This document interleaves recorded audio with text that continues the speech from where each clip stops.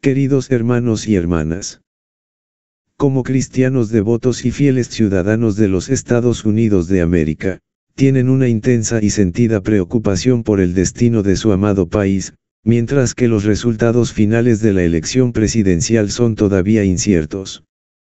Las noticias sobre el fraude electoral se multiplican, a pesar de los vergonzosos intentos de los principales medios de comunicación de censurar la verdad de los hechos para dar ventaja a su candidato.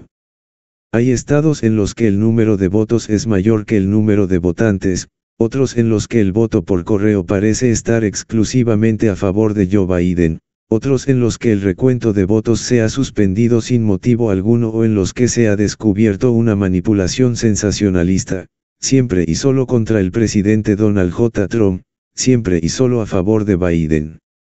En verdad, durante meses hemos sido testigos de un continuo goteo de noticias escalonadas, de información manipulada o censurada, de crímenes que han sido silenciados o encubiertos frente a pruebas contundentes y testimonios irrefutables.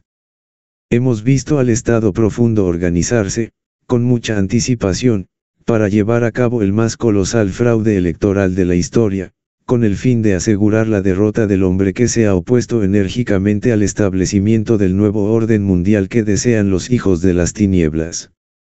En esta batalla, no han fallado, como es su sagrado deber, en hacer su propia contribución tomando el lado del bien. Otros, esclavos de los vicios o cegados por el odio infernal contra nuestro Señor, se han puesto del lado del mal. No penséis que los hijos de las tinieblas actúan con honestidad, y no os escandalicéis si actúan con engaño. Quizás creéis que los seguidores de Satanás son honestos, sinceros y leales.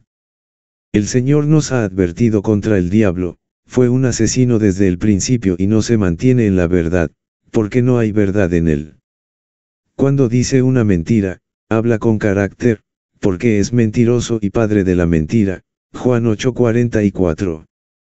En estas horas, mientras las puertas del infierno parecen prevalecer, permítanme dirigirme a ustedes con un llamamiento, al que confío que responderán con prontitud y generosidad. Os pido que hagáis un acto de confianza en Dios, un acto de humildad y devoción filial al Señor de los ejércitos. Os pido a todos que recéis el Santo Rosario, si es posible en vuestras familias o con vuestros seres queridos, vuestros amigos, vuestros hermanos y hermanas, vuestros colegas, vuestros compañeros de armas. Rezad con el abandono de los niños que saben recurrir a su Santísima Madre para pedirle que interceda ante el trono de la Divina Majestad. Rezad con un alma sincera, con un corazón puro, con la certeza de ser escuchados y respondidos. Pídele, ella que es la ayuda de los cristianos, auxilium Christianorum, que derrote a las fuerzas del enemigo, pídele, ella que es terrible como un ejército puesto en orden de batalla, cantar 6.10, que conceda la victoria a las fuerzas del bien e infligir una humillante derrota a las fuerzas del mal. Haz que tus hijos recen, usando las santas palabras que les has enseñado, esas confiadas oraciones se elevarán a Dios y no quedarán sin escuchar. Haced que los ancianos y los enfermos recen, para que ofrezcan sus sufrimientos en unión con los sufrimientos que nuestro Señor sufrió en la cruz cuando derramó su preciosa sangre por nuestra redención. Haced que las jóvenes y las mujeres recen, para que se vuelvan a ella que es el modelo de pureza y maternidad.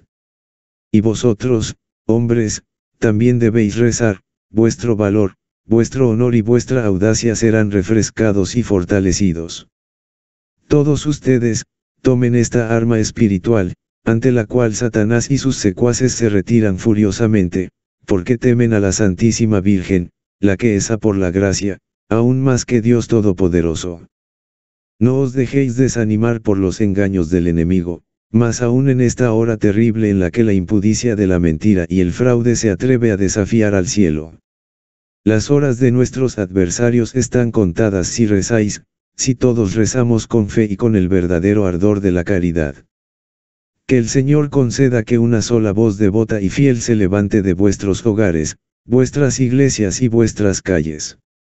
Esta voz no quedará sin ser escuchada, porque será la voz de un pueblo que grita, en el momento en que la tormenta se desata con más fuerza, sálvanos, Señor, estamos pereciendo. Mateo 8, 25. Los días que nos esperan son una ocasión preciosa para todos vosotros, y para los que se unen espiritualmente a vosotros desde todas las partes del mundo. Tenéis el honor y el privilegio de poder participar en la victoria de esta batalla espiritual, de empuñar el arma poderosa del Santo Rosario como hicieron nuestros padres en Lepanto para repeler a los ejércitos enemigos.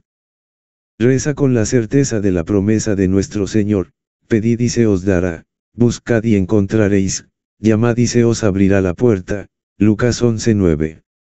El Rey de Reyes, a quien le pides la salvación de tu nación, recompensará tu fe. Vuestro testimonio, recordadlo, tocará el corazón de nuestro Señor, multiplicando las gracias celestiales que son, más que nunca, indispensables para alcanzar la victoria. Que mi llamamiento, que dirijo a vosotros y a todas las personas que reconocen el señorío de Dios, os encuentre como generosos apóstoles y valientes testigos del renacimiento espiritual de vuestra querida patria, y con ella del mundo entero. Non praevalebunt. Dios bendiga y proteja a los Estados Unidos de América. Una nación bajo Dios. Carlo María Vigano, arzobispo. Exnuncio apostólico en los Estados Unidos de América. Noviembre 4 2020 San Carlos Veroumio